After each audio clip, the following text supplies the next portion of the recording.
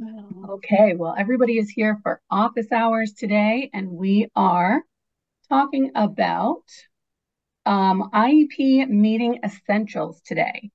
So um, we'll dive right into our agenda and get started. Um, let's see. So um, our first slide here is for meeting our team. So I am Ashley Satry. I am one of the educational specialists on the OSSE monitoring team, and I am one of the new members of the team. So I joined about nine months ago. This is my first office hours, so I'm super excited and also a little nervous. Um, but I'm so happy that you're all here with us.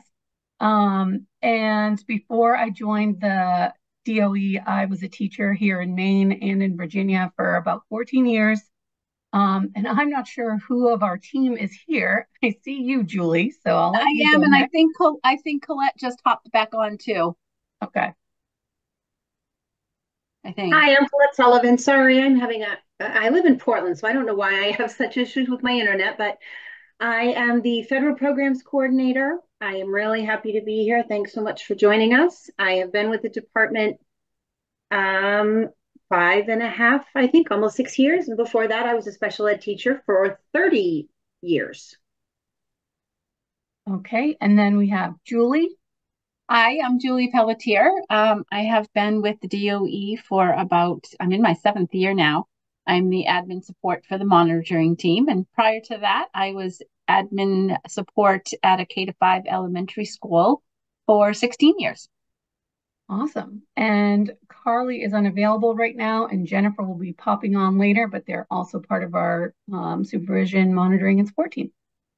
So, um, our agenda, we just started with quick introductions. Um, and then we're going to talk about some IEP meeting essentials. And when I was developing this office hours, because I'm new to the monitoring team, I was thinking about what I would have liked to know um, about IEP meetings as a brand new teacher and what I um, now know and would have loved to know then. So that's kind of how I developed this. A lot of this might seem um, repetitive to you guys, or you might already know this information. Um, but we get a lot of feedback from new teachers saying that there's not a lot of training out there for IEP meetings in general. Um, and I remember that very well, sitting in my first IEP meeting and just flying by the seat of my pants. So I was thinking of this as kind of a first um, introduction for those teachers to have some idea of what they're getting into. Um, and we'll talk about the IDEA and Muser requirements for the IEP decision-making process, the required participants, um, the major IEP responsibilities, and some timeline stuff. And again, we'll just kind of go over the very basics. We could dive into all of this stuff and do in a lot of our other trainings. So I've linked a ton of resources um, and stuff to go into more depth. Um, so at the end, there will be time for some questions and there will be time for more resources. Um, but if you want to be thinking about that as we go through the training, I would love to take feedback at the end for what else you guys think might be helpful for those kind of first timers, first year teachers. Um, so just something to think about as we go through our slides. So um, we are going to dive right into the IEP decision-making process. And um, just a note about the chat box, I can sort of see the chat box. Um, I can't see a lot of the video, but please feel free to drop any questions in chat. I've got a couple of check-ins um, and also we can um, check in at the end. And But feel free, if you're brave enough to come off mute, I'd be happy to try to answer questions too. Um, there's it's not a huge group, so um, that shouldn't derail our timeline. Um, okay, so let's see. So if you've been to any of our other trainings, we like to start with what is the purpose of an IEP. Um, the individual, the IDEA says that the purpose of an IEP is to ensure that all children with disabilities have available to them free and appropriate public education that emphasizes special education and related services designed to meet their unique needs and prepare them for further education, employment, independent living, and very importantly, to promote movement back to general education. And I loved this as I was digging into Muser, this description of what the IEP meeting is. Often we think about the annual meeting and the goals and all that stuff. But I love thinking about the IEP meeting as being a vehicle between parents and school personnel that enables them as equal participants to make joint decisions. And that would be regarding um, the child's needs and appropriate goals, the extent to which the child will be involved in the general ed curriculum and participate in the regular ed environment, so that LRE, and then the services needed to support that involvement and, and achieve agreed, agreed upon goals. Even as I was practicing, I messed those two words up. So, um, so yeah, I just love that um, image of kind of the IEP meeting as that vehicle for communication instead of the nuts and bolts that we all know as the as the case managers and stuff. Um, but I like thinking about it as a communication vehicle. Um, some important points to remember about that, of course, that the parents are considered equal partners with school personnel in making these decisions. And the IEP team should consider and must consider the parents' concerns and any information that they provide. Now, the kind of flip side to that being that the IEP team should work towards consensus and agreement with the parent but that the SAU has the ultimate responsibility to ensure that a child is appropriately evaluated, that the IEP provides FAPE, provides FAPE, and that the placement is in the least restrictive environment. So, um, meaning that the SAU has that ultimate responsibility. If the team cannot come to a consensus, they're the ones that would make that decision. And so that led me to I'm a big what if person, and my team will tell you that I'll ask what if this, what if that questions all day long. So that led me to this next slide of what if the parents and the IEP team disagree on those decisions during the IEP meeting. And so if the team cannot reach consensus, the SAU must provide the parents with prior written notice of the school's proposals or refusals, or both, because there could be some of both, regarding their child's education program, and then the parents would have the right to seek resolution of any disagreements through those due process hearings or state complaint investigation. Um, so that looks like this. Um, one thing as a new special educator that I would have loved to dig into was the is the effective dispute resolution page.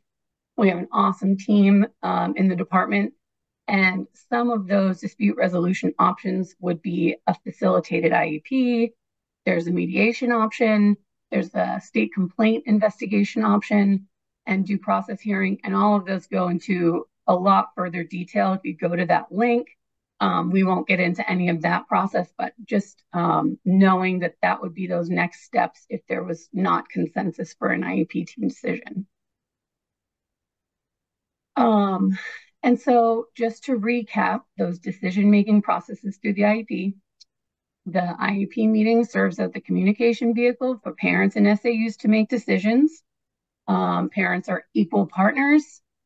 The SAU has the ultimate responsibility for FAPE, and dispute resolution options are available in case in the case of a, of a disagreement. So there's a little recap on IEP decision-making process. Um, and then we're going to jump into the required participants for the IEP meeting. So there are, uh, I believe it's eight required participants for IEP meetings. Um, and number one being the parents. Um, then there's also no less than one regular education teacher. And this should include career, technical, and adult ed teachers when that's appropriate um, no less than one special ed teacher. Um, there should be a representative from the SAU that has the following. They should be qualified to provide or supervise special education instruction. They should be knowledgeable in gen ed curriculum, and they should be knowledgeable about the availability of resources and have written authorization to obligate funds for the SAU. Um, so those are participants one through four. And then we've got participants uh, number five. So we've got at the discretion of the parents or the SAU, any others who might have knowledge or special expertise regard regarding the child, including the related service providers. So this is your OT, your PT, your BCBA, um, or any other person that has that expertise of the student. Um, and there should be an individual who can interpret the instructional implications of evaluation results. And that can be somebody who is otherwise a member of the team. So not to include the parents, but that can be anybody else on that previous slide. Um, so it could be the SAU director, um, you know, somebody who is knowledgeable to interpret the instructional implications of the evals. Uh, it could be your psych, it could be um, just somebody who's knowledgeable in that. And then um, whenever applicable, the child. And for a child who's a state ward or state agency client, the child's caseworker representing the youth serving agency. So those are the required participants per Muser. And this brought me to my question of what if? Um, what if an IEP team member can't attend the meeting? So this falls under two categories. There is the attendance not necessary category, or there's the excusal. And down at the bottom under the forms, I linked where you can get both of these excusals. Um, but for attendance not necessary, this is when a member of the team is not required to attend the meeting and the parent and the SAU have agreed in writing that they're not required because their area is not going to be discussed or modified. So this would be in the case of a, I don't know if you're adding an OT service and you it doesn't affect maybe the PT or the SLP, you can have them not attend with that being in writing um, because their area is not going to be discussed. So the form that you need for that is under that link. Um, and then the other reason that somebody wouldn't be, a, be attending would be an excusal. And this is a member of the team that can be excused um, if their area is being discussed, as long as the parent in writing and the SAU consent to that excusal. So that's another one of the forms. Um, that team member must submit in writing um, their input prior to the IEP me meeting. And then the SAU must make sure that the child's IEP team is informed of any changes. So everybody on the team just needs to be made aware, even if they're not at the meeting. So that's under excusal. And again, you can find those forms on the IEP forms page that I linked. Um, so another what if question, we've been talking about this a lot on our team. Um, what if the student is of transition age? Um, if the student is of transition age, they must be invited to the meeting. And that goes into detail in the procedural manual on page 38. Um, and then another caveat to that is that if any agency is likely to be responsible for paying for any transition services, they must be invited by the SAU, and the SAU must request consent from the parent before inviting. So that goes into detail on page 41. Um, if you're in the audit review process, you've probably heard us talking about that. Um, and so just document in the written notice if you can't get that consent um, to invite them. But if the SAU knows that they're going to be possibly responsible for paying, they must invite the outside agency. So that would be like Voc Rehab. Um, and then another what if question. What if the parent can't come to the IEP meeting? Um, this is something I'm sure we've all come across. Um, a meeting can be held without a parent in attendance if the SAU is unable to convince them that they should attend. Um, but the SAU must be keeping a record of its attempts to arrange a mutually agreed upon time and place.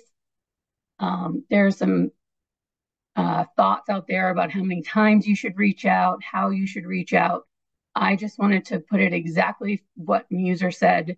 Um, there's no number attached to these things, but making that good faith effort that you've tried to communicate with the parent, um, including detailed records of the phone calls made um, or attempted results of those phone calls.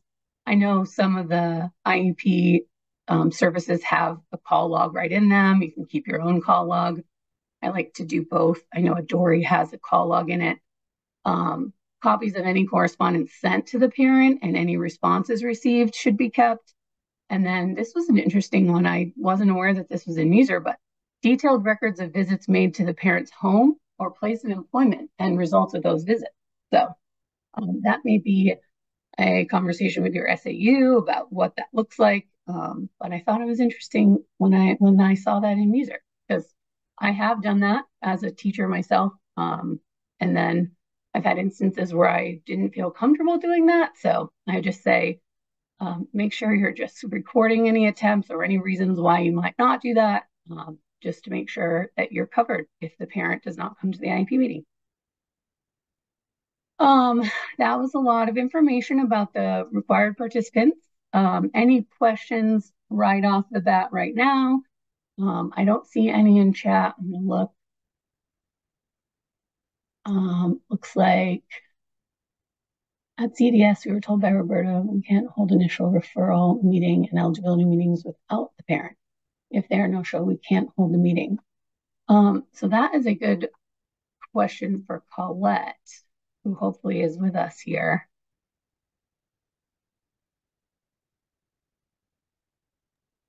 Sorry, my I'm having a hard time. Um, Oh, Karen, you know what? Let me get some clarification around CDS, okay? Because there has been some, I just want to make sure that I'm uh, reporting accurately on information that has anything to do with CDS. Good question, Karen. Thank you. That's a Good question. Thanks, Colette. Um, all right, so Colette will look into that and um, we will move on to the next section. Um, all right, so the major IEP team responsibilities. So there are five major IEP team responsibilities according to Muser. So we've got number one, determining eligibility. So that's the eligibility that we all know and love, that first uh, referral and eligibility to special education. So reviewing as part of the initial or the reevaluation, that tri triennial meeting, any existing evaluation data, including evaluations and information provided by the parent, classroom-based assessments and observations, and teacher service provider observations to determine if or what additional data are needed to determine whether a child is a child with a disability. And that is a whole um, rabbit hole of information, that whole eligibility piece. Um, and so I put a link to, I think it's Jennifer, does a wonderful office hours on that. So the link is right there or um, training on that. Um, but that is one of the major purposes of the IEP team. Um, and then we have number two, the second major um, responsibility of the IEP, IEP team is determining present levels. When I was creating this slide, all I wanted to do was just put data, data, data all over this slide because this is where you need your data collection to determine those present levels. I um, kind of went down a rabbit hole myself through all of our resources to determine what might be the best thing to put here. Um, but we had an office hour archives with a ton of data collection modules. Um, and there was also a really good teacher input form for the IEP meeting to get that data from the gen ed teachers, um, and service providers. Um, it's a sample, but it has a great um, format that you could follow if you wanted to develop something. I know a lot of schools have their own formats that they like to use. Um, I know my teachers in my buildings would see me coming about a week to two weeks before my meetings and run because I would hunt them down for their um, input for present levels and where they were, where my students were um, performing. So just determining present levels of performance for educational needs in all affected academic and non-academic areas. So that's the second major responsibility of the team. Um, number three, determining modifications and or accommodations. So this is for students who do receive services, what modifications and accommodations they might need to be successful. But there was also uh, in Muser, um, say a point saying that this is determining any necessary modifications and adaptations in the regular ed programming if the existing data is insufficient to identify the child as eligible for services.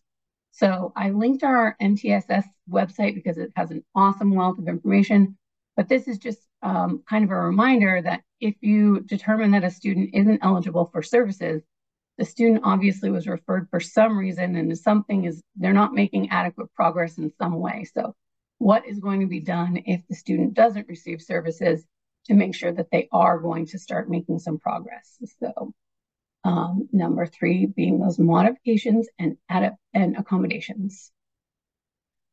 And this one's all of our favorites. So developing an IEP, that's what we're all here for. So this is developing that IEP um, and or revising the IEP for any student with a disability. And in general, Muser says that when developing each child's IEP, the team must consider the following, and that's the strengths of the child, the concerns of the parent for enhancing the education of their child, the results of the initial evaluations or most recent evaluations, and the academic, developmental, and functional needs of the child. Um, so that is, oh, this is a cool resource I was I pulled up uh, thanks to Carly. Um, when I was running my IEP meetings, I lived and died by my checklist to make sure that everything was being covered at the same uh, during the meeting. Um, this is an example of the link. It's really small for you guys to see, um, but the link goes right to it on the website. So you can see this example of a meeting checklist and it has some really great ideas. This one is broken into before the meeting, during the meeting, and after the meeting. Um, and you can adapt it how you would want to. Um, but I just can't stress the importance enough, especially for new teachers, of a checklist to keep things moving. You've got a lot to cover in an IEP meeting, um, and also make sure that each area is covered and addressed. Um, and then the final major responsibility of the IEP team the annual review. So reviewing at least annually the IEP to determine whether the goals are being achieved. Um, and I underlined and linked the case for Endrew F because also revising the IEP as appropriate to address any lack of progress toward annual goals in general education. Um, because while you definitely want to have your annual review and review it at least annually, if when you're doing your data collection and you're um, analyzing your data, you find that your student is not making progress, you're going to want to have a you're going to want to revise the IEP. You're not going to want to go through an entire IEP year with no progress without changing anything. So um, that's where that revision comes in. And um, that brings us to amendments. So um, I, it's funny, I remember when I learned this as a teacher that you did not have to have an IEP meeting bringing the whole team together to make an amendment. Uh, if you need to just adjust a goal or change something like that, um, but there are some things you do have to do if you want to do an amendment without having a full IEP meeting. Um, so in making changes to the child's IEP after the annual IEP meeting for the school year, the parent and the SAU may agree to, con to convene an IEP meeting to make the changes, um, and they may develop a, may agree not, I'm sorry, got myself confused there uh, may agree not to convene the IEP meeting and will instead develop a written document to just amend or modify the current IEP. But the SAU must provide prior written notice to the parent. The SAU must inform the IEP team of any changes that are made, and the SAU must provide the provide the parent with a revised copy of the IEP with the amendments. Um, so those are your amendments. Um, a little recap of those major IEP team responsibilities. They are to determine eligibility, determine present levels of performance, determine modifications and or accommodations, develop the IEP, and complete an annual review of the IEP. All right, and then timelines. I'm just going to check the chat box. It looks like Carly's been answering the questions um, as they pop up, which I so greatly appreciate, Carly. Um, it looks like you have gotten them all. Awesome. Thank you guys. Okay. Um, so timelines. Okay. For an initial IEP, um, each SAU must implement the IEP as soon as possible following the IEP meeting, but no later than 30 days after the IEP team's initial identification of the child as a child with a disability. So for that initial IEP, it has to be developed and implemented within 30 days of identification. Oh, that did not copyright. Oh, yes, it did. There we go. Sorry, I'm going to click all the way through this because I copied this from another slide and I wasn't aware it had this lovely animation. All right, so for your annual reviews, you have your annual meeting date, and within 364 days, you have to have your next annual review date. So that is if you have your annual meeting on January 6th, 2022, you would have to hold your next annual on January 5th, 2023. So there's your first 364 day timeline. Now, the parents have, we've got three days or so to get the written notice in their hands. And then they have the seven days to consider the IEP. They can waive their right to that seven day, which would start the IEP timeline sooner. Um, but that roughly is 10 days between the seven days and the three days, which would have your IEP meeting beginning or IEP duration beginning on 11622, which would mean that that IEP would last for 364 days to January 15th, 2023.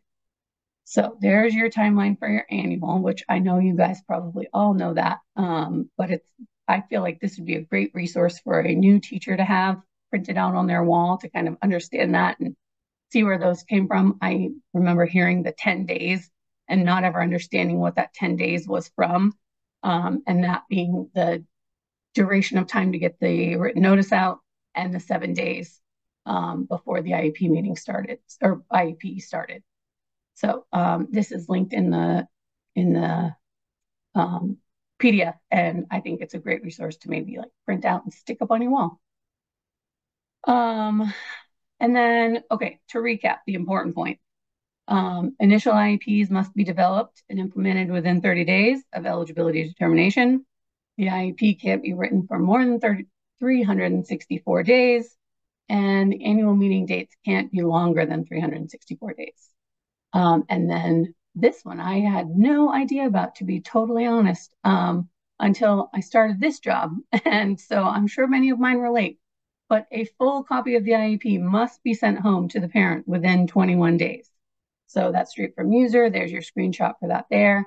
Um, and there is a spot on the IEP that says the date that it was sent home and it's not automatically pre-filled. So you might want to check yours out and just make sure that that gets filled in for the date that it's sent home to the parents, because we'll be looking for that compliance wise to make sure it's within 21 days. All right, any questions about those timelines?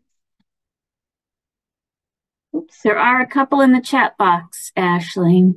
All right. Um, I think Carly answered one already but there's one about written notice being sent within three days. Um, and that's really only initial. Well, it's really to get that seven day notice. Thanks, Jennifer. Um, all right, and then holding the meeting doesn't seem to give the special ed teacher time to get the IEP to the parent before the IEP begins. Meeting.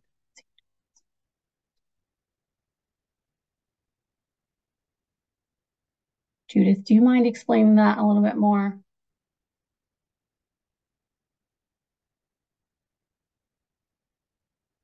A few days before the IEP ends. Oh, I get that. That and that's where the two different timelines come in too, Judith. If you um if you can you go back a slide? Yep. Ashley. Sorry. No. So the, the duration of the IEP is a separate 364 day timeline than the meeting timeline. So if you're starting the IEP 10 days out or whatever, however many days out, then you have to have your meeting before the last meeting, not before. I think um, there is some confusion because when this kind of presentation comes out, it makes the special ed teachers believe that they can start that meeting three days before the IEP ends and then still have that 21 days, even though the IEP starts the day after the last day of the last IEP. Does that make sense?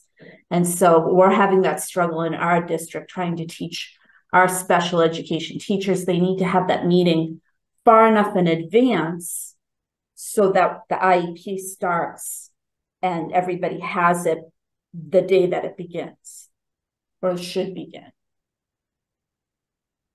Do you understand what I'm saying? It's it's a struggle here. This is a confusing timeline thing. Jennifer, I see you're nodding along there. So do you, I'm gonna let tag you in. Yeah, that that is an issue. And that can you go back one more slide, Ashley? The one with the yeah, see at the bottom there, there's two different two different 364 day timelines. So I do like this ip IEP is good until the 15th, but the next meeting has to happen on the 5th.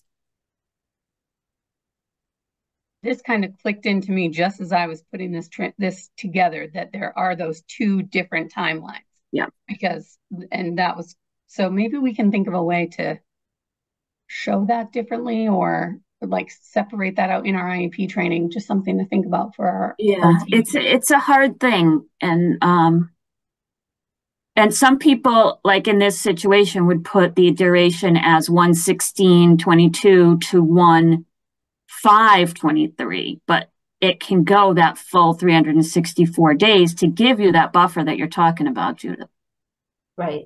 And and that, you know, 21 day time period where the IEP is sitting expired and um and people are asking for it, it it's really hard. And so I come from New Hampshire. New Hampshire, I would be the one to schedule all the meetings and I would schedule those meetings three to four weeks before the IEP ends. Still Yeah, that's definitely the way to go. notice. But I just feel like this is very confusing to our people in our district. Because they're thinking, well, I'm going to start the IP on 116, but I don't have to get it to the parents until 130 or whatever, you know, 22. Yeah. That is good feedback. And thank you for that because we, I I myself have struggled to understand this timeline. So um, that's good for us to think about as a team for a way we could maybe present that differently, at least in our trainings. Thank you so Um, much. Yeah, thank you. Um, okay, so we'll go, let's see.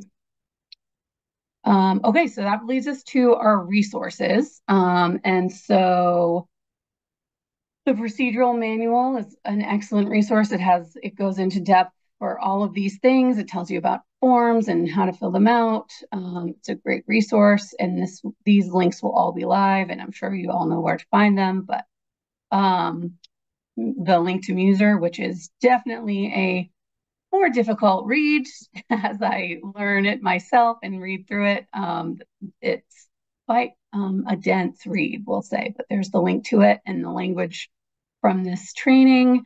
This is my very favorite resource. Um, as soon as I learned about this, I just tell everybody I know about it. So hopefully you've all seen it, but this is what we call our quick reference document. And it's not so much related to this training, um, at, but it's more um, for those when you're thinking about your new teachers and um, starting out. This has all of the things we look for for compliance during our reviews.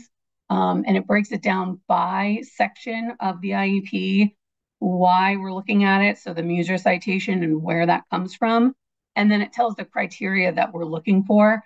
And it's, we call it a quick reference document. And I think it's like 16 or 17 pages, um, which is a lot. So it's a little overwhelming to look at at first.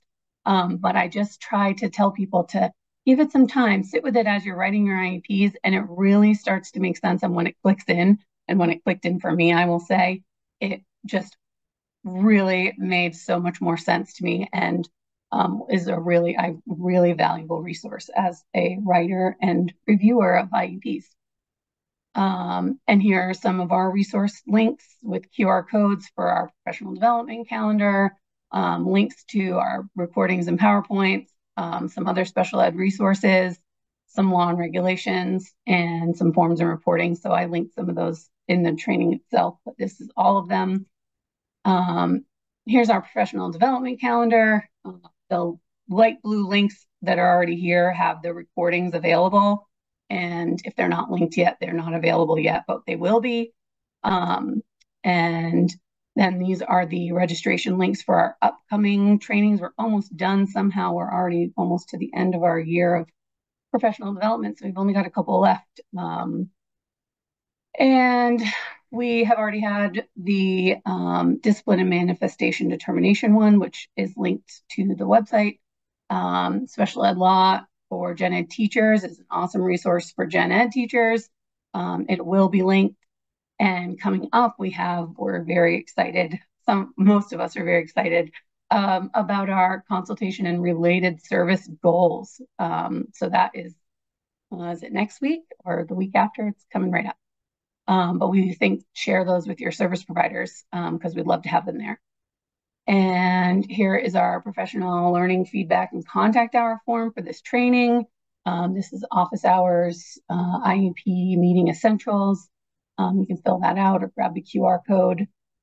And before I go too much further, um, I was wondering if anybody, and you can email me too, or uh, whatever if you don't feel like adding it, but there's anything on this topic that you think might have been beneficial to have added in here, I'd love to hear it because um, we'll do this again next year for our professional development. Um, and I just would love to get our new teachers as ready as possible. So if there's anything that we didn't discuss, um, I'm happy for any feedback you might have. And you can Ash- also in the chat. Yeah, go ahead. Sorry, Ashley, this is Colette. I'm still struggling with my internet. So um, could you give the little spiel about us um, reviewing? Yes, absolutely. Um, so yeah, let me get to our, I think the next one has our email addresses. There it is.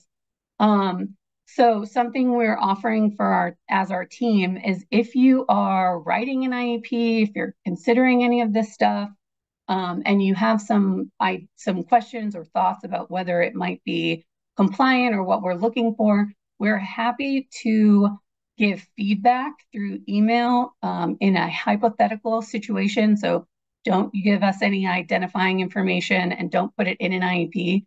But if you had a question about is a goal compliant? Is it is the data point strong enough? Um, is the alignment good? You're we're happy to take that in an email format um, and give you feedback. So we try to turn it around and get feedback and re, uh, response back to you in like 24 to 48 hours, depending on the time of the year. Right now, it might be a little closer to that 48 hours because we're slammed with travel. Um, but yeah, just keep these email addresses. And if you have questions, we're happy to um, answer them or try to answer them or direct you in the way um, to the answer. So um, that is the spiel for that. This is our email uh, information, and I'm going to stop screen sharing. Um, but um, we have a little bit of extra time. So if anybody had any other questions or thoughts, we're happy to hear